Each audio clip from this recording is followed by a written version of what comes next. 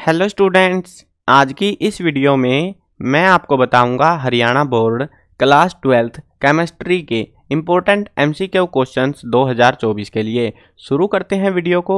मैं हूँ अजय और आप देख रहे हैं सी सी एल चैप्टर लेकिन वीडियो शुरू करने से पहले आपको बता देता हूँ, अगर आपको क्लास ट्वेल्थ के किसी भी सब्जेक्ट के इंपॉर्टेंट क्वेश्चंस या मॉडल पेपर क्योंकि अब की बार पैटर्न बदला हुआ है काफ़ी ज़्यादा तो सबके जो है सॉल्यूशन मॉडल पेपर्स के मैंने करा दिए हैं और इंपॉर्टेंट क्वेश्चन की सारी वीडियोज़ दो प्लेलिस्ट के लिंक मैं डिस्क्रिप्शन में ऐड कर रहा हूँ, दोनों में आपको जो है सारी, जो वीडियोज़ हैं, वो मिल जाएँगी। उसके अलावा जो है ये वेबसाइट है जो आपके काम आएगी एग्ज़ाम में बहुत ज़्यादा। गूगल पर जाकर सर्च करना C C L chapter dot com इस वेबसाइट पर हमने बहुत सारा कंटेंट स्टडी मटेरियल आपके लिए अपलोड कर रखा है। अब की बार हमने जो है एक सोप का सेक्शन ऐड किया हुआ है। इसके अंदर आप जो है क्लास ट्वेल्थ के किसी भी सब्जेक्ट की पेड पीडीएफ खरीद सकते हो। कुछ सब्जेक्ट के जो है हमने विद आंसर बना रखे हैं। इंपॉर्टेंट क्वेश्चन की पीडीएफ है ये। और कुछ हमने जो है क्वेश्चन ओनली कर रखे हैं। अब ये जो पीडीएफ है, इस, इसी जो है तरीके से डिज़ाइन कर रखी है हमने कि आपको जो है कम से कम पढ़ना पड़े और आप जो है ज़्यादा स्कोर कर पाओ। अगर आप पीडीएफ को कंप्लीट पढ़ लेते हो, किसी भी सब्जेक्ट की अगर आप खरीदते हो तो आपको जो है लगभग जो है ये मान लो कि 90 परसेंट के आसपास जो है क्वेश्चन एग्ज़ाम में देखने को मिल सकते हैं। कुछ एक सब्जेक्ट में अप डाउन हो सकता है थोड़ा बहुत, लेकिन 80 परसेंट से ऊपर ही ऊपर रहेगा 90 के अप्रोक्स रहेगा एवरेज आपका, ठीक है? तो वो आपकी मर्ज़ी है, आप खरीदना चाहो तो खरीद सकते हो। अब जो है, अगर खरीदो तो ये कोड यूज़ कर लेना C C L twenty five ताकि आपको जो है डिस्काउंट देखने को मिले। अब जो है, उसके अलावा हमने इंपॉर्टेंट क्वेश्चन एम जो मैं करा रहा हूँ, ये आपको यहाँ पे मिल जाएँगे इंपॉर्टेंट क्वेश्चन में, जो पेड पी है, उसमें आपको सारा कंटेंट मिलेगा एम हो या जो भी कुछ क्वेश्चन एग्ज़ाम में आने हैं, सब कुछ मिलेगा उनमें तो।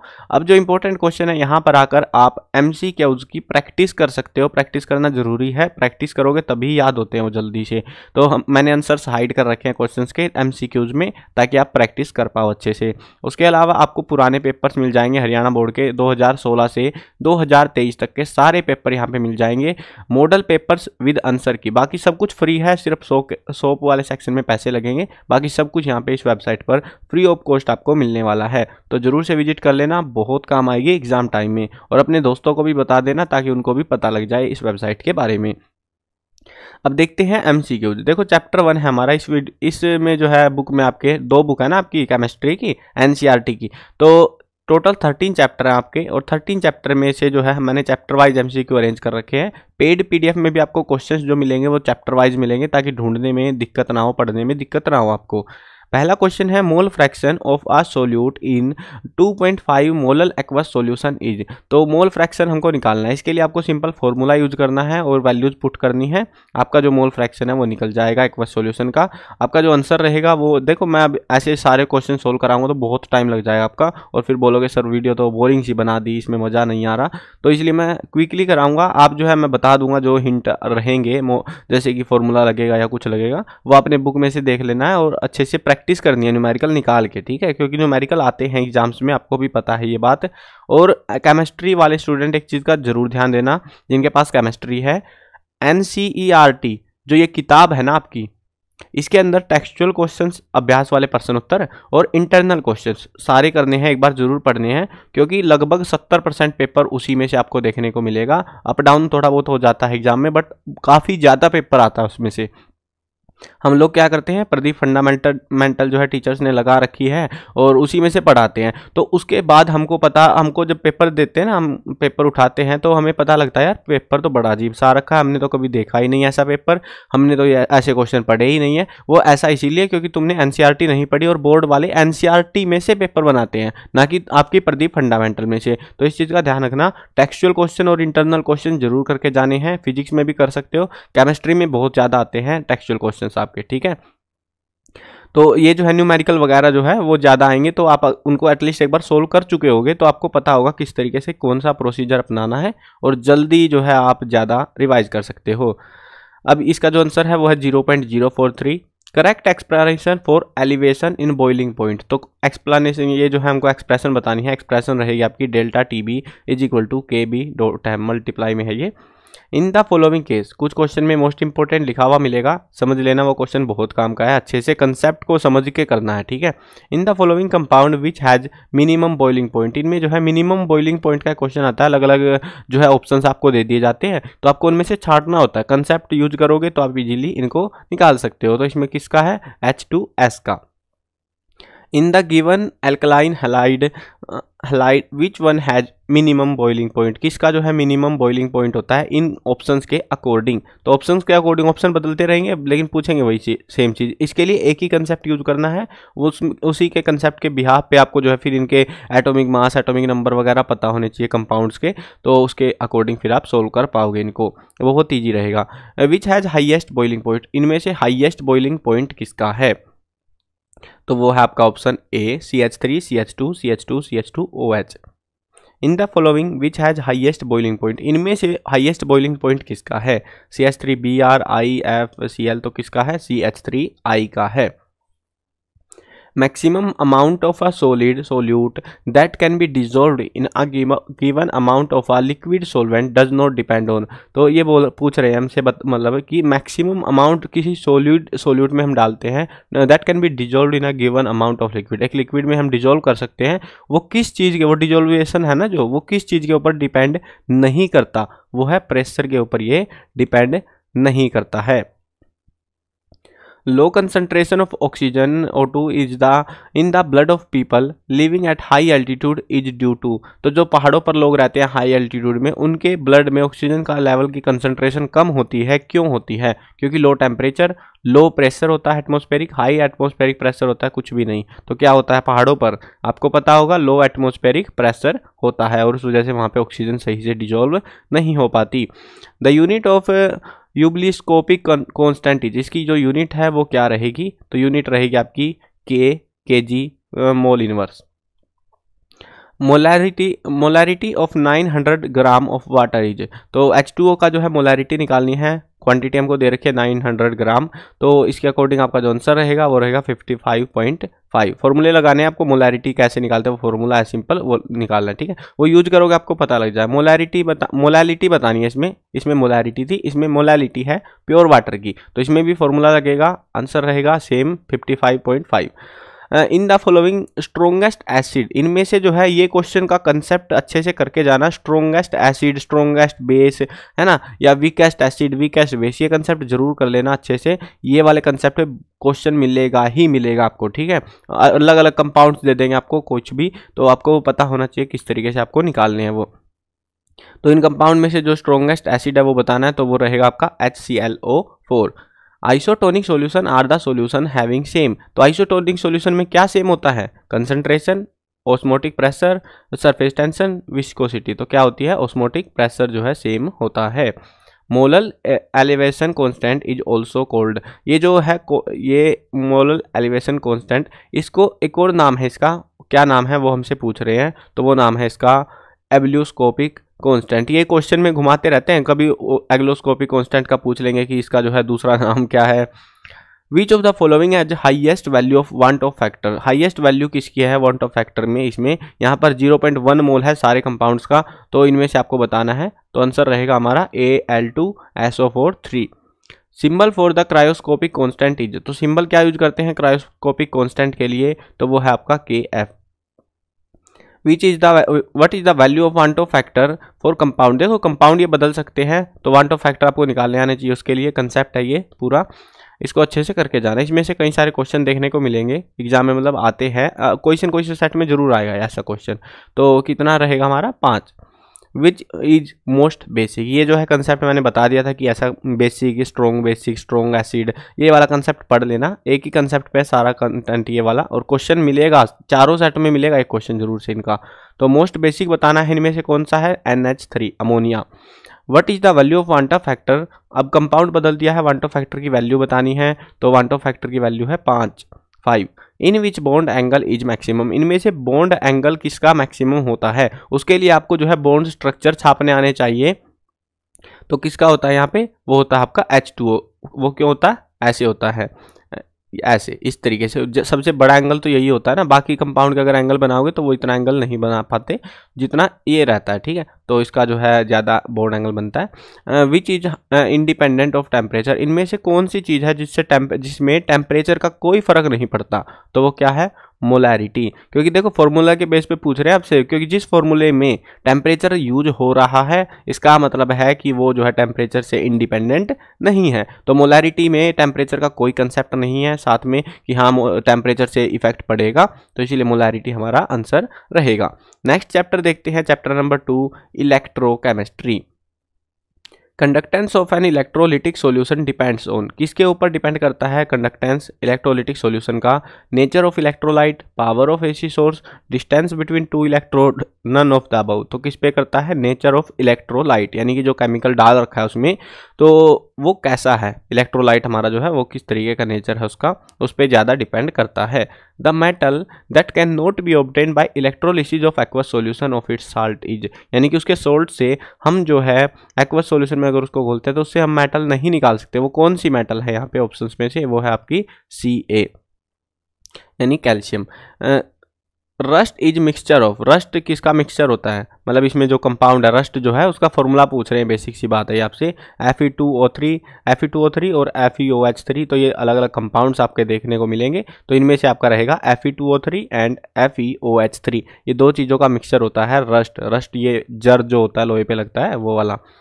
The quantity of a charge required to obtain one mole of aluminium from A L two O three आपको A L two O three से जो है ये कंपाउंड है, इसमें से एलुमिनियम निकालनी है वन मोल कंपाउंड है हमारा। तो इसके लिए हमको कितना चार्ज चाहिए होगा? फॉर्मूले हैं कंसेप्ट के बेस पे। ये सारे फॉर्मूले आपको बुक में मिल जाएँगे अगर आपके प्रति फंडामेंटल नहीं भी है। फंडामेंटल है तो आपको सारे फॉर्मूले मिल ही जाएँगे। लेकिन सारे न्यूमेरिकल सोल्व करके ज़रूर जाना। आपकी तैयारी इतनी खतरनाक लेवल पर होगी ना कि आप फुल टू फुल मार्क्स भी ला सकते हो केमिस्ट्री के अंदर। लेकिन आपको सारी जो है मेहनत करनी पड़ेगी। सारे जो क्वेश्चंस जो मैं आपको प्रोवाइड करा रहा हूँ, सारे सोल्व करने हैं, मेहनत करनी है। अगर आप सारे क्वेश्चन सोल्व कर लेते हो बहुत अच्छे तरीके से तो आप जो है केमिस्ट्री के एग्ज़ाम में नंबर नहीं कटवा सकते। अब आपके ऊपर आप सोचते हो कि मैं इसी को रट के भाग जाऊँगा। अब आंसर रट करने से काम नहीं होता ना कंसेप्ट समझना पड़ता है केमिस्ट्री में तो। तो वो ज़्यादा गेम चेंजिंग हो जाता है, अगर आप कंसेप्ट नहीं क्लियर करके चलते तो फिर जो है दिक्कत होती है एग्ज़ाम के अंदर। तो यहाँ पे जो है कितना चार्ज चाहिए आपको? तीन फ्राइड का। Which of following statement is correct इनमें से कौन सी स्टेटमेंट जो है सही है? Electrolysis of dilute N H gives H two at cathode and O two at anode Electrolysis of H2SO4 gives H2 at cathode and O2 at anode. Electrolysis of aqueous KF solution gives F2 at cathode या कुछ भी नहीं। तो कौन सा answer रहेगा? ये है हमारा electrolysis of H2SO4 gives H2 at cathode और ऑक्सीजन जो है हमें एनोड पर मिलेगी इस कंपाउंड में। तो बाकियों में जो है हमें ऐसा नहीं मिलता है, जो स्टेटमेंट इन्होंने दे रखी है।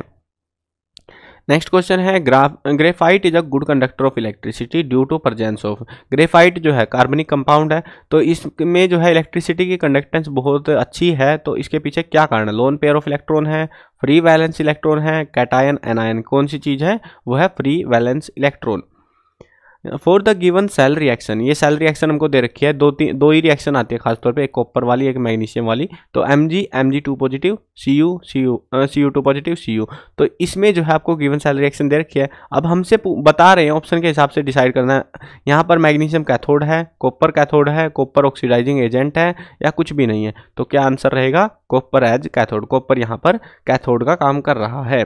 सेम ऐसा ही है, इसमें भी copper copper two positive A G और पॉजिटिव और ए जी तो इसमें जो है आपको बताना है ऑप्शन के अकॉर्डिंग कॉपर कैथोड पर है ए जी कैथोड पर है ए जी ऑक्सीडाइजिंग एजेंट है, कुछ भी नहीं है।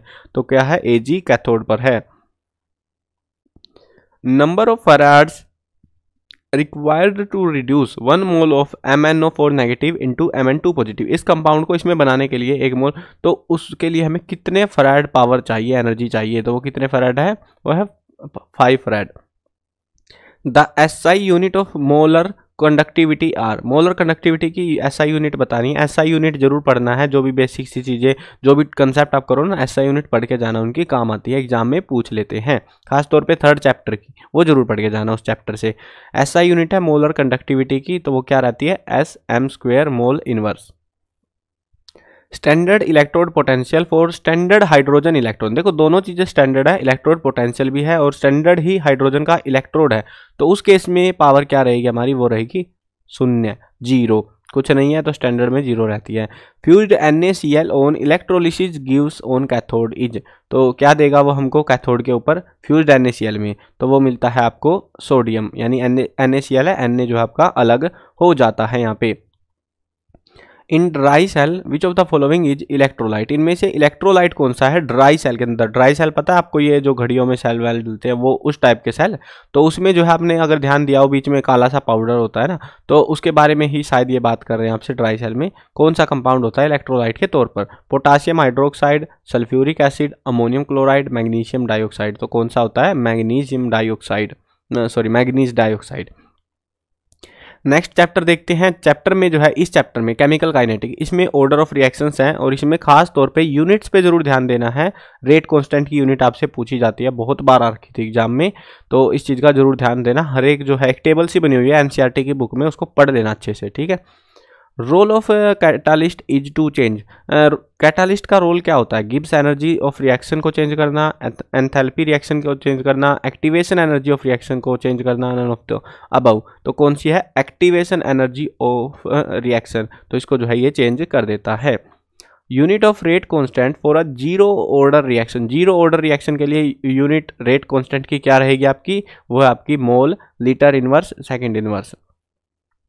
Time required for hundred percent completion of zero order reaction. Zero order reaction है और उसका हंड्रेड परसेंट कंप्लीट अगर वो होती है तो उसके लिए हमें कितना जो है टाइम रिक्वायर्ड रहेगा तो वो रहेगा T hundred is equal to A upon K R Arrhenius equation is represented by तो आर्हीनियस इक्वेशन को हम कैसे रिप्रेजेंट करते हैं? के बराबर ए ई ऊपर आई पावर में minus E A upon R T ठीक है?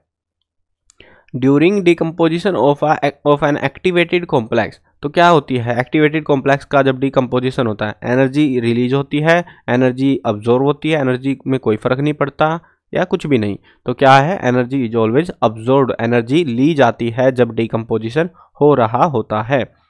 Identify the order of reaction from given constant यहाँ पे हमको कॉन्स्टेंट दे रखा है। आपको इस चीज़ के लिए ये चीज़ ध्यान देना, यहाँ पे वैल्यू कुछ भी रैंडमली पटक देते हैं हमको। आपको इनकी यूनिट पर ध्यान देना है। कुछ दिमाग नहीं लगाना। यूनिट पर ध्यान दो और पता लग जाएगा कौन से ऑर्डर की रिएक्शन है। क्योंकि अलग अलग ऑर्डर के लिए अलग अलग जो यूनिट्स है वो इस्तेमाल होती है। तो वो सिंपल है फंडा। उस तरीके से आप जल्दी एमसीक्यू को सोल्व कर पाओगे। न्यूमेरिकल में वैल्यू पुट करते मत फिरना। यूनिट से पता लग जाएगा। ठीक है? तो ये कौन से ऑर्डर की रिएक्शन है? ज़ीरो ऑर्डर की। नेक्स्ट क्वेश्चन है हमारा आ catalyst increase the rate of reaction then what will be the effect on rate constant तो रेट कॉन्स्टेंट पर क्या इफ़ेक्ट पड़ेगा जब रेट ऑफ़ रिएक्शन को कैटालिस्ट बढ़ा देता है?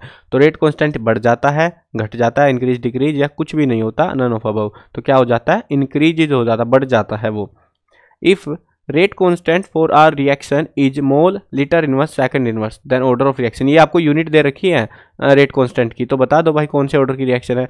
घुमा फिरा के आपसे पूछना वही है इनको। रेट कॉन्स्टेंट की तीन यूनिट है आपकी, तीन चार, वो पढ़ लेना बस, उनमें से ही क्वेश्चन मिलेगा आपको। लगभग सारे सेटों में मिलने के चांस है इस क्वेश्चन के। तो अच्छे से पढ़ना है ये वाला। तो ये आपकी ज़ीरो ऑर्डर रिएक्शन देखो, अगर तुम ध्यान देते हो ना, यहाँ पे mole litre inverse second inverse याद रखना इसको। Mole, litre inverse, second inverse, है ना? तो इस तरीके से है, ये चीज़ काम करती है न्यूमेरिकल टाइप में, देखो, यहाँ पे litre, mole inverse, second inverse, है ना? अब अगर आप ध्यान देते हो, देखो, यहाँ पे लीटर इनवर्स है, यानी कि हमारा ज़ीरो ऑर्डर रिएक्शन तो यहाँ पे होने से रही ये वाली, है ना? तो ये चीज़ आप ध्यान देना है बस आपको, और आपका काम नहीं पड़ता जाएगा। अब यहाँ पे बता दो, इसमें, इसके अकॉर्डिंग क्या जो है रेट ऑफ़ रिएक्शन है तो वो है second order reaction next question है for a reaction N two plus three H two reaction होती है और दो अमोनिया बनते हैं। The rate of reaction with respect to ammonia will be तो कौन सी जो है रेट ऑफ़ रिएक्शन रहेगी हमारी? वो रहेगी सी वाला ऑप्शन यानी कि plus one by two D N H three upon D T तो ये हमारी जो है रेट ऑफ़ रिएक्शन रहेगी। If half life of a period first order reaction is hundred second यदि जो है हाफ़ लाइफ ऑफ़ पीरियड है मतलब आधा टाइम उसने स्पेंड किया है फ़र्स्ट ऑर्डर रिएक्शन वो है सौ second then rate constant will be तो रेट कांस्टेंट क्या होगा? फॉर्मूले में पुट करो, निकल जाएगा आंसर आपका। आंसर रहेगा six point nine three into ten की पावर माइनस थ्री सेकेंड क्योंकि टाइम पूछा, ये चीज़ ध्यान देना ना, पूछा क्या है कि रेट कांस्टेंट क्या रहेगा इसमें? ऑप्शंस के अकॉर्डिंग हमको सेकंड दे रखा है सेकंड भर देना, ठीक है? Half life period of a first order reaction depend on half life period जो है फ़र्स्ट ऑर्डर रिएक्शन की किसके ऊपर डिपेंड करती है? Concentration of reactant concentration of product rate constant of reaction कुछ भी नहीं। तो किस पर करती है? Rate constant of a reaction the unit of rate constant for first order reaction unit पूछी गई है रेट कॉन्स्टेंट की तो वो क्या रहती है हमारी? Time inverse an example of zero order reaction is तो ज़ीरो ऑर्डर रिएक्शन का इनमें से कौन सा एग्ज़ाम्पल है? Thermal decomposition of H I on gold surface hydrogenation of ethene decomposition of N two O five inversion of sucrose तो कौन सा है? Thermal decomposition of H I on gold surface ये ज़ीरो ऑर्डर रिएक्शन आपकी। If rate of a reaction is independent of the concentration of reactant then reaction is तो, तो उस case में जो रिएक्शन है वो कौन सी होगी? तो वो कौन से ऑर्डर की होगी? ज़ीरो ऑर्डर रिएक्शन होगी। रेट कांस्टेंट हमको दे रखा है ऑफ़ रिएक्शन रेट दे रखा है के A two B minus three by two the order of reaction is तो उस केस में ऑर्डर ऑफ़ रिएक्शन क्या है? ये फार्मूला दे रखा है काइंड ऑफ़ हमको और ये हमको बता रहा है सीधा सीधा ही। तो वो ऑर्डर ऑफ़ रिएक्शन क्या है? Zero point five half life जो है रिएक्शन है नेक्स्ट uh, क्वेश्चन देखते हैं. Identify the order of reaction from the given constant अब यहाँ पे यूनिट देखो यूनिट से ही पता लग जाएगा तुमको तो कौन से ऑर्डर की रिएक्शन है ये? सेकंड ऑर्डर की रिएक्शन है. यहाँ पे इन चीज़ों में घुसना ही नहीं आपको. सीधा यूनिट देखो पता लग जा रहा है आपको.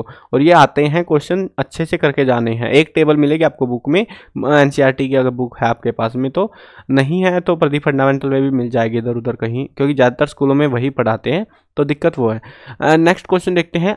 रिएक्शन इज़ सेकंड ऑर्डर इन्होंने बता दिया, हमको रिएक्शन सेकंड ऑर्डर की है with respect to reactant how is the rate of reaction affected if concentration of reactant is reduce to half यदि रिएक्शन जो रिएक्टेंट है, उसकी जो कंसंट्रेशन है, उसको आधा कर दिया जाए तो इसके ऊपर क्या असर पड़ेगा? तो ये आपकी वन बाय फोर टाइम्स हो जाएगी। एनसीईआरटी का क्वेश्चन है टेक्सचुअल क्वेश्चन में से ये क्वेश्चन एमसीक्यूज वाले भी। तो इस तरीके से ही देते हैं। ज़्यादातर क्वेश्चन मैंने जब देखे ना तो लगभग पेपर उसमें से बने हुए थे। हर साल का यही सीन है। अब बताते नहीं है, कोई एनालिसिस करता नहीं है और इतनी डिटेल में आपको बताता नहीं है तो वो दिक्कत रहती है और आप पढ़ते भी नहीं हो। आप सोचते हो, यार टेक्सचुअल क्वेश्चन है, ये कहाँ ही पूछेंगे? और बोर्ड में वही आते रहते हैं। One four one upon four time a reaction is second order with respect to reactant ये एक ही क्वेश्चन है, जो बुक में अगर आप उठा के देखते हो, दोनों ये क्वेश्चन और ये क्वेश्चन एक ही जगह पे रखे हुए हैं आपके। मतलब वन करके और टू करके। ऐसे करके थे ये क्वेश्चन मैंने देखे थे। तो affected if concentration is doubled यहाँ पे डबल कर दी थी, वहाँ पे जो है हाफ़ कर दी थी। डबल कर दी थी तो यहाँ पे रिएक्शन क्या हो जाएगी? फोर टाइम्स हो जाएगी। A reaction is first order in A and second order in B what the right the rate law equation rate law की इक्वेशन बतानी है, अगर फ़र्स्ट ऑर्डर रिएक्शन ए है हमारी सेकंड ऑर्डर वाली बी है तो उस केस में क्या होगा? उस केस में रेट बराबर होगा के ए की पावर एक बी की पावर दो। नेक्स्ट चैप्टर देखते हैं fourth chapter the D and F block elements in the following strongest reducing agent is इनमें से स्ट्रोंगेस्ट रिड्यूसिंग एजेंट कौन सा रहेगा? तो वो है बी आई एच थ्री इसके लिए भी कंसेप्ट रहता है, आपका मोलिकुलर कंसेप्ट रहता है तो उसके बेसिस पे ही रहते हैं ये चीज़ें। Which of the following ion is colourless in aqueous solution colourless इनमें से कौन सा सोल्यूशन होगा? इसके लिए आपको आयन्स की एक टेबल बनी हुई है बुक में तो तो उसको पढ़ोगे तो पता लग जाएगा कौन सा कलरलेस है, कौन से में कौन सा कलर आता है। तो फ़िलहाल हमारा आंसर रहेगा S C three positive which one is coloured इनमें से कलर कौन से में आएगा? तो वो है हमारा T I H two O six three positive ये जो है कंपाउंड के ऊपर डिपेंड करेगा, इसको सोल्व करना पड़ेगा आपको। Basis on the main metal कौन सा एलिमेंट किससे जुड़ा हुआ है, उसके बिहाफ पर ही आपको कलर का पता लग पाएगा। Which element does not show variable oxidation state कौन सा एलिमेंट जो है वेरिएबल ऑक्सीडेशन स्टेट नहीं दिखाता है तो वो है हमारा S C scandium which of the following oxidation state is most common among the lanthanoids तो लेंथेनोइड में कौन सी कॉमन है हमारी? वो है plus three the oxidation number of cobalt cobalt का ऑक्सीडेशन नंबर पूछा है कंपाउंड हमको दे रखा है, इसमें बताना है। तो ऑक्सीडेशन नंबर क्या है? कोबाल्ट का minus one which one is coloured इनमें से कलर्ड कंपाउंड कौन सा है? इसके लिए मैंने बता दिया, आपको टेबल पढ़ोगे तो पता लग जाएगा। आपको जो है स्ट्रक्चर बनाना पड़ेगा, फिर पूरा इसका कि स्ट्रक्चर अगर नहीं बना पाए तो फिर वहाँ पे गड़बड़ कर सकते हो आप, यहाँ पे चांसेस रहेंगे। तो लेकिन वहाँ से पता लग जाएगा, उसमें जो है कुछ एलिमेंट कलरलेस है, कुछ है। तो प्राइमरी मेटल ढूंढो इनमें, जैसे टाइटेनियम है, यहाँ पे कॉपर है स्कैंडियम जिंक तो इस तरीके से प्राइमरी मेटल ढूंढो और फिर देखो कि उसमें वो किस तरीके से बाकी के साथ बॉन्ड बना रहा है और फिर आपको पता लग जाएगा कलर्ड है या नहीं है। तो यहाँ पे भी आंसर हमारा रहेगा Ti H two O six three positive Haber's process is use to prepare Haber process को क्या बनाने में इस्तेमाल करते हैं? वो है अमोनिया बनाने में इस्तेमाल होता है। What is the magnetic movement of scandium three positive ion तो मैग्नेटिक मूवमेंट क्या रहेगी फार्मूले के बेस पे है ये? तो वो रहेगी आपकी ज़ीरो बी एम न, वैसे टेबल भी बनी हुई है कुछ कुछ बेसिक जो कंपाउंड उनकी मैग्नेटिक मूवमेंट के लिए बुक में टेबल भी बना के दे रखी है उसमें से ही पूछते हैं ज़्यादातर टाइम ये। Number of unpaired electron in N I two positive are तो अनपेयर्ड इलेक्ट्रॉन कितने हैं इसमें कंपाउंड में? दो। Oxidation number of P T in K two P T C L six इस कंपाउंड में ऑक्सीडेशन नंबर क्या है पी टी का? तो वो रहेगा हमारा plus four what is the magnetic movement of N I C L four two negative complex तो ये जो कंपाउंड हमको दे रखा है, इसका मैग्नेटिक मूवमेंट बताना है आपको कैलकुलेट करके, वो है two point eight two B M next chapter देखते हैं, इसमें से बहुत एमसीक्यू आते हैं, बहुत ही ज़्यादा गदर मचाता है ये chapter chapter five coordination compound आपको भी पता है चैप्टर हार्ड है ये थोड़ा सा, है ना? थोड़ा सा हार्ड है, ज़्यादा हार्ड भी नहीं है, अगर आपने कंसेप्ट को अच्छे से करा हुआ है। Which complex exhibit geometrical isomerism geometrical isomerism इनमें से कौन सा कॉम्प्लेक्स दिखाता है? तो वो है ये P T C L two P देखो ये कंपाउंड ऐसा नहीं है फिक्स रहेंगे, ये बदले भी जा सकते हैं। वैसे ज़्यादा टाइम मैंने देखा रिपीट सेम ही दे देते हैं हमको उठा के ये, लेकिन बदल भी सकते हैं। इस चीज़ का ध्यान रखना कंसेप्ट पता होगा तभी आप इनको अटैम्प्ट कर पाओगे सही से। P T C L two P C two H five three two what is the coordination number in the compound ये कंपाउंड दे रखा है, इसका कोऑर्डिनेशन नंबर ये कोऑर्डिनेशन नंबर निकालना ज़रूर सीख लेना कंपाउंड का आएगा ही आएगा क्वेश्चन एग्ज़ाम में, ठीक है?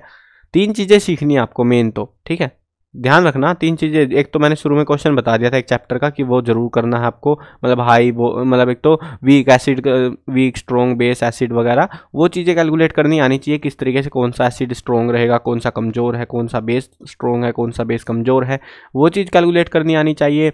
उसके अलावा आपको ऑक्सीडेशन नंबर सीख लेना, निकालना ऑक्सीडेशन नंबर कैसे निकालते हैं कंपाउंड का एटम का नहीं कंपाउंड का। वैसे ही कोऑर्डिनेशन नंबर सीख लेना कंपाउंड का निकालना, ये ऐसे क्वेश्चन हैं जो बहुत ज़्यादा पूछे जाते हैं, आते ही आते हैं, लगभग हर बार के एग्ज़ाम में। तो इनको अच्छे से कंसेप्ट को अच्छे से करके जाना। कहीं तुम सोचो कि मैं तो रट के भाग जाता हूँ, वही मिलेगा। तो कोऑर्डिनेशन नंबर बताना हमको इस कंपाउंड का तो वो रहेगा हमारा सिक्स वैसे एक मस्त चीज़ बताता हूँ तुमको हैक है ये लूप होल है। ज़्यादातर कंपाउंड का कोऑर्डिनेशन नंबर छः ही होता है। ज़्यादातर जो एग्ज़ाम में आते हैं छः ही मिलेगा आपको। देखते जाना भी अभी। आगे और भी आते रहेंगे क्वेश्चन ज़्यादातर में छः ही मिलता है आपको आंसर एक आध ही होगा बुला बिसरा। अगर कुछ ना समझ आए और छः ऑप्शन में है तो छः ही मिलेगा। प्रायोरिटी छः पर रखना। अगर तुक्का मारने बैठे हो तो ठीक है?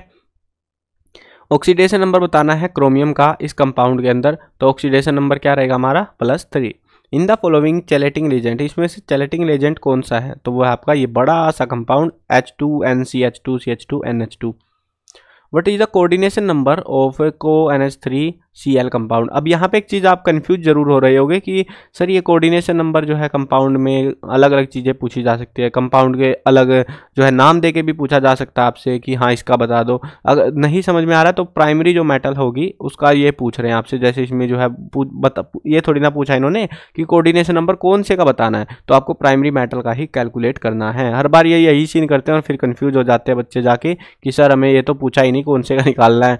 तो इस चीज़ का ध्यान रखना कहीं तुम कन्फ्यूज़ हुए पड़े रहो। ज़्यादातर फ़र्स्ट आइटम का निकालना होता है या फिर जो मेन प्राइमरी आइटम है उसका निकालना होता है, जिसके अराउंड सारा स्ट्रक्चर बनता है।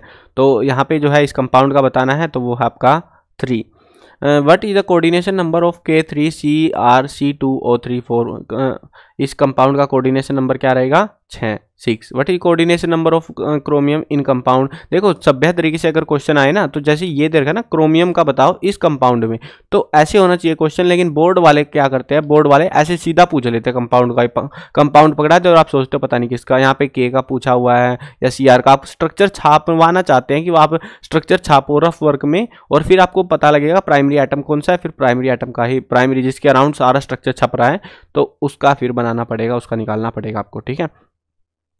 कहीं तुम कन्फ्यूज़ पड़े रहो फिर वहाँ पे पेपर में कि ये क्या हो गया, हमारे साथ क्वेश्चन ही गलत था। क्वेश्चन गलत नहीं होते, फिर नंबर कट जाते हैं फालतू के। तो यहाँ पे क्रोमियम का क्या रहेगा? सिक्स जैसा कि मैंने बोला था, ज़्यादातर में सिक्स ही मिलेगा। यहाँ पे कोबाल्ट का बताना है, इस कंपाउंड के अकॉर्डिंग वो है आपका सिक्स कोऑर्डिनेशन नंबर बताना है एलुमिनियम का, इस कंपाउंड के अकॉर्डिंग तो वो है सिक्स प्लेटिनम का बताना है, इस कंपाउंड के अकॉर्डिंग वो भी है फोर नहीं सिक्स नहीं मिलेगा हर बार यार मतलब थोड़ा कैलकुलेट कर लेना, ठीक है, लेकिन ज़्यादातर में तुक्के में सिक्स मिल जाता है, और अगर आप ध्यान दोगे ना, सारे ऑप्शनों में देंगे सिक्स क्योंकि इनको भी पता है कि तुम लूप होल यूज़ कर सकते हो। Which type of isomerism present in ये दो कंपाउंड हमको दे रखे हैं, इनका आइसोमेरिज्म कौन सा प्रेजेंट है? इनमें आयनिक है लिंकेज ऑप्टिकल जियोमेट्रिकल तो कौन से वाला है? Ionic in in the following in which metal of a complex ion has zero oxidation number इनमें से कौन से का जो है ज़ीरो ऑक्सीडेशन नंबर होगा? इनमें आपको कैलकुलेट करना पड़ेगा, सारों का तभी पता लगेगा। तो वो रहेगा आपका F E C O five what is hybridization of nickel in ये जो है कंपाउंड दे रखा है, इसमें जो है हाइब्रिडाइजेशन पूछ रखी है, कौन सी वाली होगी निकल की? तो वो है S P three what is relation between दो कंपाउंड देंगे आपको, और इसमें जो है रिलेशन पूछा है कौन सा है? लिंकेज कोऑर्डिनेशन आइसो आयोनाइजेशन और सोलवेट तो कौन सा रहेगा? आयोनाइजेशन ज़्यादातर में तो आयन वाले ही मिलते हैं मोस्ट ऑफ़ द टाइम तो। Which type of isomerism present in C R N H three C L B R और इस कंपाउंड के अंदर जो है कौन से टाइप का आइसोमैरिज्म होगा? जियोमेट्रिकल नेक्स्ट क्वेश्चन हमारा in the following complexes which metal has zero oxidation number इनमें कौन से का ज़ीरो ऑक्सीडेशन नंबर होता है? Nickel cobalt C O four in the following which is strongest ligand तो इनमें से स्ट्रोंगेस्ट लीजेंड कौन सा है? वो है C N negative which element will show highest oxidation number इसमें सबसे ज़्यादा ऑक्सीडेशन नंबर किसका होगा? इसके लिए आपको पता होना चाहिए ना ऑक्सीडेशन नंबर कैसे निकालते हैं, वो ज़्यादा ज़रूरी है। इसीलिए मैंने कहा वो कंसेप्ट सीख के ज़रूर जाना। एम एन का होगा यहाँ पे। What is the ambidentate ligand तो इनमें से एम्बीडेंटेड लीजेंट कौन सा है? वो है हमारा C O three two negative the oxidation number of chromium in, ये जो कंपाउंड है, इसमें ऑक्सीडेशन नंबर पूछा है क्रोमियम का तो वो रहेगा आपका प्लस थ्री। नेक्स्ट चैप्टर देखते हैं। नेक्स्ट चैप्टर आपका हेलो एल्केन और हेलो एरिन वाला। तो इस चैप्टर में पहला क्वेश्चन है, the ease of dehydrohalogenation of alkyl halide with alcoholic K O H is तो वो कौन सा रहेगा? वो रहेगा तीन डिग्री वाला पहले, फिर दो डिग्री, फिर वन डिग्री वाला। टर्सरी सेकेंडरी प्राइमरी कहते हैं इनको। टर्सरी सेकेंडरी प्राइमरी हाईलाइट तो इस तरीके से होते हैं और इन्होंने डिग्री बना के हाईलाइट करते हैं। आ one degree alkyl halide would prefer to undergo तो जो प्राइमरी एल्काइल हेलाइड है, ये देखो, ये कन्फ्यूज़ करते हैं। कभी कभी वन डिग्री लिख देंगे, कभी प्राइमरी लिख देंगे तो कन्फ्यूज़ मत हो जाना। प्राइमरी सेकेंडरी टर्सरी होते हैं ना एल्काइल हेलाइड तो ये वही है। प्राइमरी वाले का पूछा है तो कौन सी रिएक्शन रहेगी वो? वो रहेगी S N two copper sulphate dissolve in excess of K two give तो क्या देता है वो? जब हम कॉपर सल्फेट को घोलते हैं के के अंदर तो आपको जो कंपाउंड मिलेगा, वो मिलेगा C U C N two organic compound which show complete stereochemical inversion during S N two reaction तो वो कौन सा कंपाउंड होता है? वो होता है C H three C L which metal has highest density ये तो सबको पता है बेसिक जी के क्वेश्चन ओसमियम ऑप्शन के हिसाब से भी डिपेंड करेगा, ठीक है? S N two reaction will be fastest in तो एस एन टू रिएक्शन इनमें से किसमें सबसे ज़्यादा तेज़ी से होगी? C H three B R में होगी। नेक्स्ट क्वेश्चन है, यहाँ पे कंपाउंड दे रखा है C six H five C L और C H three C L plus two N O dry ether की प्रेजेंस में एक रिएक्शन होती है कंपाउंड बनता है सी एच थ्री और ये नाम ही भूल गया मैं तो इसका। Plus two N A C L तो ये जो रिएक्शन है, इस रिएक्शन का नाम क्या है? ठीक है, ये रिएक्शन वैसे तो आपको याद ही करनी है रिएक्शन या इंपॉर्टेंट क्वेश्चन जब करोगे वुड्स फिटिंग रिएक्शन है एग्ज़ाम में पूछी जाती है रिएक्शन रिएक्शन को ज़रूर याद करके जाना।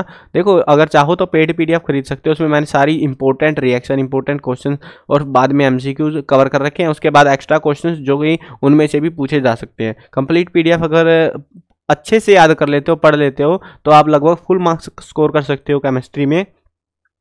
लेकिन अगर पास होना है तो ऊपर के थोड़े थोड़े क्वेश्चन है, हर चैप्टर से दो दो चार चार क्वेश्चन दे रखे हैं। अगर वो भी पढ़ के जाओगे तो पास तो तुम, फिर भी हो जाओगे। तो वो आपकी मर्ज़ी है, बाकी पीडीएफ खरीदनी हो या ना खरीदनी हो, मैं जस्ट आपको रिकमेंड कर सकता हूँ।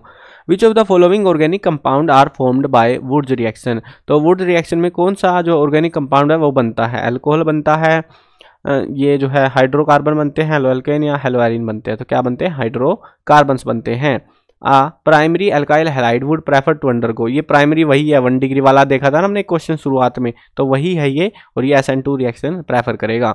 नेक्स्ट क्वेश्चन है, यहाँ पे C H three C L है के सी एन की प्रेजेंस में एक रिएक्शन होती है कंपाउंड बनता है, और ये कंपाउंड फिर से रिएक्ट करवाते हैं इसका हम N A C two H five O H की प्रेजेंस में। फिर जो प्रोडक्ट बनेगा, वो प्रोडक्ट क्या है? उसके लिए रिएक्शन करनी आनी चाहिए। ये बनेगा आपका C H three C H two N H two which one of the following has the highest dipole movement इनमें सबसे ज़्यादा डाइपोल मूवमेंट किस, जो है कंपाउंड की रहेगी? C H two C L two इस कंपाउंड की रहेगी। नेक्स्ट चैप्टर देखते हैं chapter number seven alcohol phenol and ether पहला क्वेश्चन है acid and anhydrides on reaction with one degree amine give तो क्या देता है वो? वो देता है हमको amide alkyl halides are present from prepared from alcohol by treating with alkyl halide जो है एल्कोहल से प्रिपेयर कर करे जाते हैं अल्कोहल की मदद से किसके साथ रिएक्शन करने पे? मतलब इनमें से किसकी रिएक्शन करेंगे तो अल्काइल हेलाइड बन जाएँगे तो वो है एच और Z N C L two alcohol में जब इनके साथ प्रजेंस में रिएक्शन कराएँगे तो फिर ये जो हमारा अल्काइल हेलाइड बन जाता है। मोलिकुलर फॉर्मूला बताना है ईथर का। सबसे इजी क्वेश्चन है ये तो आपका, है ना? तो C N H two N plus two which of the following is most acidic सबसे ज़्यादा एसिडिक कंपाउंड इनमें से कौन सा है? Benzyl alcohol cyclohexanol phenol M chlorophenol तो वो रहेगा एम क्लोरोफिनोल अगर आपको मिले ना किसी कंपाउंड में, जैसे डैश करके लिखा हुआ है एम पी या कुछ लिख देते हैं मोस्ट ऑफ़ द टाइम वही मिलता है आपको आंसर में कि वही जो है सबसे ज़्यादा एसिडिक रहता है। Williamson synthesis is use to prepare Williamson synthesis ये एक रिएक्शन है तो इससे क्या बनाते हैं? तो इससे बनाते हैं हम ईथर ये रिएक्शन दे रखी है हमको। एक कंपाउंड है प्लस में एच आई एक रिएक्शन होती है और एक प्रोडक्ट बनता है ए और बी तो ये पूछ रहे हैं ए और बी ये दोनों प्रोडक्ट का नाम बता दो क्या क्या बनेंगे। तो वो बनेंगे हमारे C six H five O H बनेगा ए तो और एक बनेगा सी एच थ्री आई इस रिएक्शन के बाद में। Which is the weakest acid in the following सबसे कमज़ोर एसिड कौन सा है? वो है हमारा C H three three C O H next question है C H three C H two O S जो है ये रिएक्शन करता है H two S O four की प्रेजेंस में और एक कंपाउंड बनता है। तो ये कंपाउंड क्या है? तो ये आपका सी टू एच फोर यानी कि C H two C H two double bond के साथ में ये जो कंपाउंड है वो बनेगा। ये रिएक्शन काम किया वैसे भी तो रिएक्शन भी ध्यान रख सकते हो आप। देखो, मैं जो इंपॉर्टेंट क्वेश्चन करोगे ना रिएक्शनों वाले, जैसे अलग अलग नामों से रिएक्शन आती है, ज़्यादातर ये वही रिएक्शन है और ये सीधे डायरेक्ट बता पूछ लेते हैं एम बना के और फिर आपको कन्फ्यूज़ करते हैं। एनीसोल यानी ये जो कंपाउंड दे रखा है with H I R at three seventy three kelvin temperature will give तो वो क्या देगा हमको? देखो, अगर तुम ध्यान देते हो, यहाँ पे एक रिएक्शन आई थी थोड़ी देर पहले ही, रुको। ये वाली है ना, देखो ओ सी एच थ्री है और एच आई है ना? और यहाँ पर भी क्या है? ओ सी एच थ्री है एच आई है टेम्परेचर भी सेम है। और ये कंपाउंड क्या बनेगा? वही बनेगा, बस क्वेश्चन को घुमा दिया गया है थोड़ा सा, ठीक है? तो ये आपका कंपाउंड ये बनेगा। नेक्स्ट क्वेश्चन देखते हैं. Arrange the following in order of increasing their acidic strength acidic strength के अकॉर्डिंग जो है, हमको यहाँ पे अरेंज करना है. अरेंज करने का यहाँ पे मतलब ये नहीं है कि आप लगाओगे सबको लाइन में. आपको यहाँ पे बेसिक सी बात ये कहना चाह रहे हैं कि सबसे ज़्यादा एसिडिक बता दो कौन सा है तो वह पी नाइट्रोफिनोल ठीक है? नेक्स्ट क्वेश्चन है C H three C H two O H इसकी रिएक्शन हम कराते हैं H two S O four की प्रेजेंस में. तो कंपाउंड बनेगा ये फिर से आ गया यार, ये क्वेश्चन अभी करके आए थे मैं ना C C two H four वाला. रिपीट होगा ये question in the preparation of alkyl halide from alcohol which of the following reagent is preferred तो कौन सा रिएजेंट प्रेफर किया जाता है रिएक्शन के दौरान? P C L five which is the strongest acid in the following इनमें strongest acid कौन सा है? तो वह है C H three O H which one is strongest acid इनमें से कौन सा है? इनमें से रहेगा आपका पी नाइट्रोफिनोल ये भी शायद रिपीट हो रहा है ना I think C two H five O C two H five plus H I तो दो कंपाउंड बनेंगे। कंपाउंड का नाम बता दो तो वो बनेंगे C two H five O H C two H five I reaction of benzene diazium diazonium chloride with ethanol will give. तो ये जो है बेंजिन डायजोनियम क्लोराइड, ये रिएक्शन करता है इथेनॉल के साथ में एक प्रोडक्ट बनता है। तो प्रोडक्ट क्या रहेगा आपका? तो वो प्रोडक्ट बनेगा benzene. Which is least acidic इनमें से सबसे कम एसिडिक कौन सा है? वो है C two H five O H reaction दे रखी है C six H five O C H three plus H I ये सेम रिएक्शन है। अगर आप ध्यान देते हो ये वही है, वो डायग्राम छाप रखा था ना, ये डायग्राम भी टेढ़ा मेढ़ा सा छाप दिया मैंने। ऐसा सा डायग्राम था ना, ऊपर लिखा हुआ था ओ सी एच थ्री ध्यान याद आई तुमको? जब दो बार दिखाई थी। और एच आई, ये वही रिएक्शन है। क्वेश्चन मैंने ऐड इसीलिए करे हैं ताकि तुमको याद हो जाए। क्वेश्चन ऐसे ऐसे पूछते घुमा घुमा के कि तुम घूम जाओ वहाँ पे। तो ये वही कंपाउंड है और वही रिएक्शन है और प्रोडक्ट भी वही बनने वाले हैं। ठीक है? C six H five O H और C H three I next question है tertiary alkyl halide would prefer to under तो कौन सी रिएक्शन करेगा? टर्सरी, ठीक है? प्राइमरी का हमने देख लिया एस करता है और सेकेंडरी वाला करता है सॉरी टर्सरी वाला करेगा एलिमिनेशन वाला, ठीक है? एलिमिनेशन जो है रिएक्शन को प्रेफर करेगा। नेक्स्ट चैप्टर देखते हैं aldehyde ketone and carboxylic acid इसमें जो पहला क्वेश्चन है which of the following which on heating with aqueous K O H produces L S T L D acetaldehyde तो ये जो है, कौन सा कंपाउंड बनाएगा? प्लस के करो रिएक्शन करनी है सारों के साथ में करके देख लेना। जोन से में एसिटेल्डिहाइड इसके लिए आपको पता होना चाहिए कि इसका फॉर्मूला क्या है और आराम से निकल जाएगा, कोई बड़ा इशू नहीं है। तो वो आपका कंपाउंड है C H three C H C L two iodoform test is not given by तो किसके द्वारा नहीं दिया जाता? तीन पेंटेनोन के द्वारा। इसमें मतलब इसमें कोई रिज़ल्ट नहीं आता, अगर इस कंपाउंड के साथ ये टेस्ट हम करते हैं तो। आई नेम बताना है एसिटिक एसिड का। तो क्या नाम रहेगा? Ethanoic acid. Which metal carbonyl has the strongest carbon oxygen bond तो किसमें होता है वो? इनमें से कौन से कंपाउंड में? वो है M N O four M N C O six positive में। A strong base can ab abstract an alpha hydrogen from तो किसमें से जो है अब्स्ट्रैक्ट कर सकता है? कीटोन से। In the following strongest acid is इनमें से स्ट्रोंगेस्ट एसिड कौन सा है? ये कंसेप्ट मैंने शुरू में बोल दिया था। कंसेप्ट पता होना चाहिए कि स्ट्रॉन्ग एसिड वीक बेस कौन सा कैसे होता है। खासतौर पे पूछते हैं तो वीक एसिड पूछेंगे या स्ट्रोंगेस्ट एसिड पूछेंगे। ज़्यादातर टाइम तो ये देखा है मैंने एग्ज़ाम में जब भी पूछा है तो इसी तरीके से पूछा है। हर एक चैप्टर में पूछा कि कहीं से भी मर्ज़ी मुँह उठा के पूछ लेते हैं लोग। आपको कंसेप्ट पता होना चाहिए कि स्ट्रोंगेस्ट एसिड निकालते कैसे हैं। तो इसमें रहेगा हमारा C six H five C O O H which type of organic compound are prepared by Gattermann Koch reaction ये एक रिएक्शन है, इससे कौन सा कंपाउंड बनता है? तो बनता है आपका एरोमेटिक एल्डिहाइड यहाँ पर एक रिएक्शन दे रखी है इसकी जो है हम रिएक्शन कराते हैं P D B S O four H two S O four की। तो यहाँ पे ये कंपाउंड बन नाम का तो ये रिएक्शन का नाम बताना है। वैसे ये रिएक्शन भी आती है और काम की रिएक्शन आपकी। तो रिएक्शन का नाम है Rosenmund reduction reaction aldehyde and ketone can be distinguished by. तो कैसे डिस्टिंग्विश करेंगे हम एल्डिहाइड और कीटोन को? तो वो है टोलेंस रिएजेंट के द्वारा विच इज़ स्ट्रोंगेस्ट एसिड इनमें से फिर से पूछ लिया स्ट्रोंगेस्ट एसिड छाट लो कौन सा? है F C H two C O H in the following reaction यहाँ पे एक प्रोडक्ट है, ये वाला मतलब एक कंपाउंड दे रखा है, और इसकी रिएक्शन कराते हैं पानी के साथ में, पानी घोल देते हैं इसमें गर्म करके। तो एक प्रोडक्ट बनता है तो प्रोडक्ट का नाम बता दो, क्या बनेगा? तो वो बनेगा बी ऑप्शन ये वाला C H O next question next chapter है हमारा, चैप्टर नंबर नाइन एमीन्स का।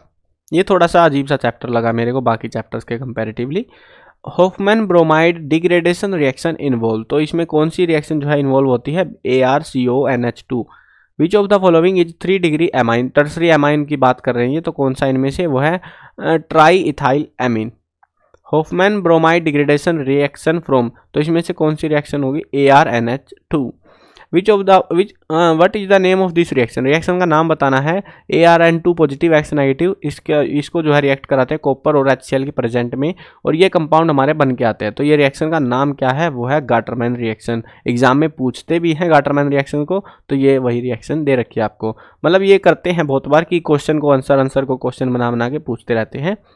C H three C O N H two B R two और के एच की प्रजेंस में एक प्रोडक्ट बनाती हैं तो उस प्रोडक्ट का नाम क्या होगा? क्या प्रोडक्ट बनेगा? C H three N H two जो है प्रोडक्ट रहेगा।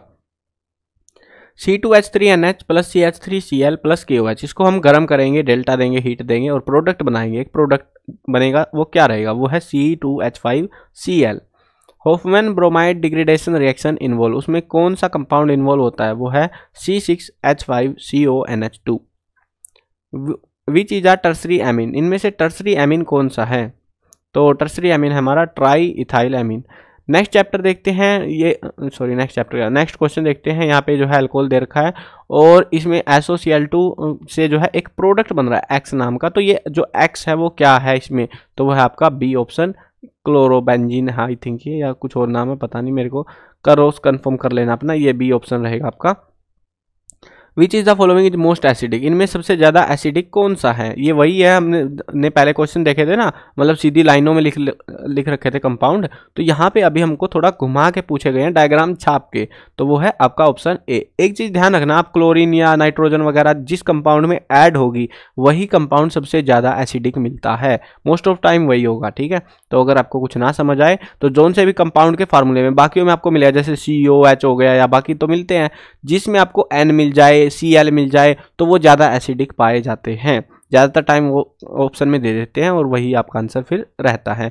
नेक्स्ट क्वेश्चन है, यहाँ पे NO2 के प्रजेंस में ये जो है कंपाउंड है एच H2PD और इथेनॉल के प्रेजेंस में एक प्रोडक्ट बनता है। ये रिएक्शन हम ऊपर भी करके आए थे और सेम ही है ये तो इससे क्या बनेगा? Option A N next chapter देखते हैं। ये लास्ट चैप्टर है हमारा biomolecules which of the following is stored in liver of a animal तो इनमें से कौन सा जो है लीवर में स्टोर होता है एनिमल की, वो है glycogen which base is present in DNA but not in RNA कौन सा बेस प्रेजेंट होता है डीएनए में? आरएनए में नहीं होता लेकिन वो तो वो है यूरेसिल इस चीज़ को ज़रूर ध्यान रखना, ये कहीं तुम कंफ्यूज हो जाओ, ये ऑप्शन सारे पढ़ लेना थायमिन साइटोसिन यूरेसिल और ग्वेनिन इनमें जो है, देखो which base is present in DNA but not RNA तो ये सारे जो है यहाँ पे डीएनए में प्रेजेंट होता है आरएनए में नहीं होता, लेकिन आरएनए में कई बार पूछ लेते हैं, बाकी ऑप्शंस में से उठा के कि आरएनए में कौन सा होता है वो बता दो। तो ये ध्यान रखना थोड़ा सा ऑप्शन का भी। In the following which is not monosaccharide sugar तो इनमें से कौन सी मोनोसेचराइड शुगर नहीं है, वो है maltose which vitamin is soluble in water बहुत ही ईजी क्वेश्चन बच्चा लेवल क्वेश्चन है। विटामिन बी जो है वाटर सोल्यूबल है। राइबोफ्लेविन इज़ तो ये क्या है? ये विटामिन बी है हमारा।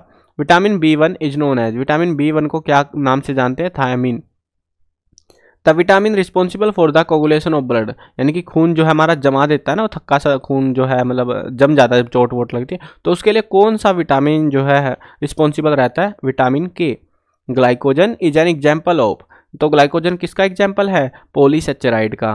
कार्बोहाइड्रेट के टाइप है ना ये? तो उनमें से है ये पोलीसेचराइड तो उसका जो है ये एग्ज़ाम्पल है। Which of the following amino acid is not optically active तो इनमें से कौन सा अमीनो एसिड ऑप्टिकली एक्टिव नहीं है? Glycine glycine the vitamin responsible for ये फिर से आ गया यार विटामिन के है हमारा। ये रिपीट हो गया क्वेश्चन हटा सकते हो आप इसको। डाइसेचराइड इज़ तो डाइसेचराइड क्या होता है? लैक्टोज है इनमें से एंजाइम्स आर एंजाइम्स कैसे होते हैं? प्रोटीन्स हैं एंजाइम्स जो जितने भी एंजाइम होते हैं शरीर में, सारे जो है प्रोटीन ही होते हैं एक्चुअल में। Glycogen is an example of glycogen किसका एग्ज़ाम्पल है? ग्लाइकोजन है पोलीसेचराइड का एग्ज़ाम्पल तो ये थे हमारे टोटल एमसीक्यू क्वेश्चन आंसर इनमें से देखो न्यूमेरिकल भी थे, थोड़े बहुत ही थे न्यूमेरिकल ज़्यादा नहीं थे। रिएक्शंस आती हैं। अब मैं ओवरऑल कंक्लूजनली बता रहा हूँ। क्या क्या चीज़ों पे आपको ज़्यादा ध्यान देना है केमिस्ट्री में। ऑक्सीडेशन नंबर निकालना सीख लेना। कोऑर्डिनेशन नंबर निकालना सीख लेना, कैसे निकालते हैं अलग अलग कंपाउंड का, ठीक है? ये दो चीज़ तो बहुत अच्छे से करना है। एसिड एसिड को निकालना कि कौन सा वीक एसिड कौन सा स्ट्रॉन्ग एसिड उसका कंसेप्ट है, वो आपको अच्छे से पढ़ के जाना है, समझ के जाना है। तो इनमें से क्वेश्चन मिलेंगे। कम से कम दो क्वेश्चन इनमें से, तीन टॉपिक में से दो क्वेश्चन ज़रूर मिलेंगे। एमसीक्यू में मिले या वन मार्क्स के सिंगल क्वेश्चन में जैसे भी दे बट वो ज़रूर देंगे आपके एग्ज़ाम में, ठीक है?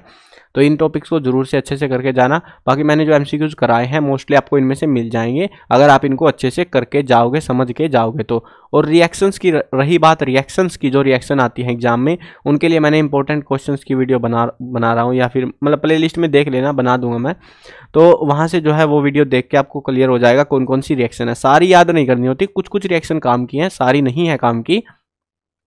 जो जो रिएक्शन काम की है, उनको इंपॉर्टेंट क्वेश्चन में मैंने ऐड कर रखा है। चाहो तो आप पीडीएफ परचेज कर सकते हो, जिसके अंदर आपको सारे एमसीक्यू सारे इंपॉर्टेंट क्वेश्चन टॉपिक वाइज यानी कि मैंने किस तरीके से बना रखे पीडीएफ वो समझ लो। क्वेश्चन ओनली है उसमें वैसे, ये चीज़ ध्यान रखना। कहीं तुम सोचो आंसर के साथ मिलेगी। क्वेश्चन है उसमें, और उसमें आपको शुरू में जो है सारे ज़रूरी इंपॉर्टेंट रिएक्शन या टॉपिक्स हैं, जो एग्ज़ाम में सबसे ज़्यादा आते हैं।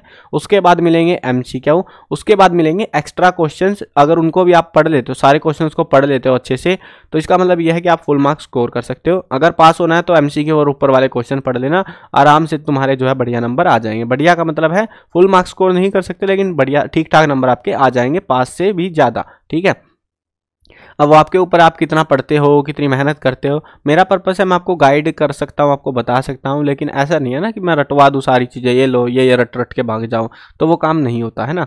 तो कंसेप्ट क्लियर होने ज़रूरी है केमिस्ट्री में नहीं तो नंबर कटते हैं, और आपको भी पता है, सबसे जो हार्ड सब्जेक्ट है आपका, वो केमिस्ट्री ही है है ना? तो अच्छे से पढ़ के जाना, मैंने सारी चीज़ें बता दी हैं एम में भी करा दिया एम प्रैक्टिस कर लेना वेबसाइट पर गूगल पर जाना सर्च कर लेना C C L chapter dot com तो इस वेबसाइट से आप प्रैक्टिस भी कर सकते हो। एम की। दो तीन बार प्रैक्टिस कर लोगे तो याद भी होने लग जाएँगे वो कंपाउंड आपको वो क्वेश्चन याद होने लग जाएँगे सिंपल वाले।